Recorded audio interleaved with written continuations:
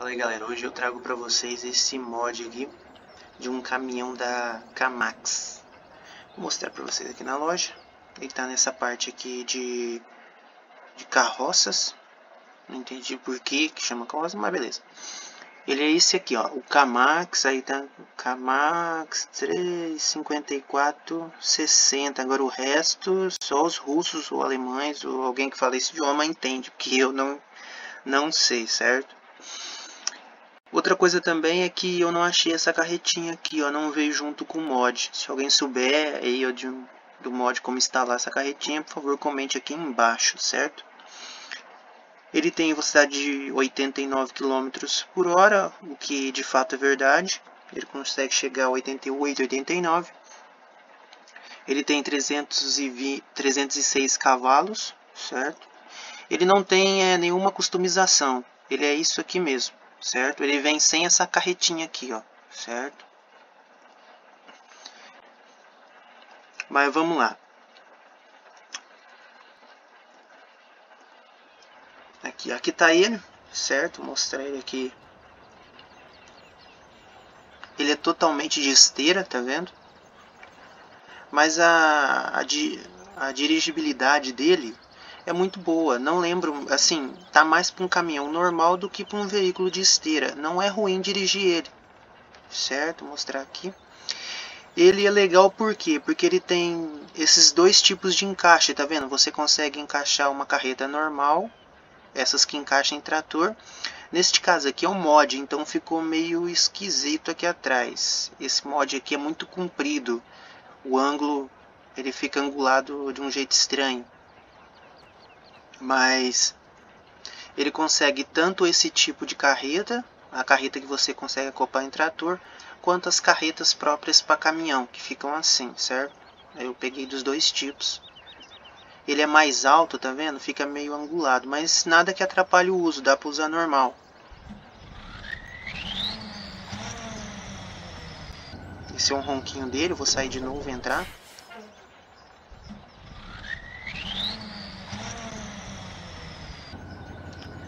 Tá aí o caminhãozinho aí, ó. Bem legal mesmo, um mod bem feito. Tá vendo? Tem uma boa animação. Ele ele por ser 320, 306 cavalos, melhor dizendo, ele tem uma potência legal e uma velocidade final também muito boa, dá para você transportar e ele não é difícil de dirigir como eu disse, ele tem a dirigibilidade de um caminhão comum, nada muito diferente do que realmente seria. A vantagem é que ele consegue passar em mais terrenos, né? Entre aspas. Talvez se você usa um mapa de atoleiro, nesse mapa aqui não tem tanta não tem atoleiro, não tem tanto obstáculo, mas talvez se você usa um mapa com atoleiros, esse caminhão vai se dar muito bem lá tem bastante força. Embora a carreta esteja descarregada, né, não tenha nada nela, vou mostrar para vocês. Mas acredito que pela potência ele não vai passar apuros não. Mostrar o interior, né? O interior ele é assim, né? Ele tem esses tons escuros, certo? A modelagem é toda é, excessivamente escura mas em compensação o painel é perfeito. Ele funciona até quando você acende as luzes. O volante tá vendo? Muito bom. E todos os mostradores do volante funcionam. Todos mesmo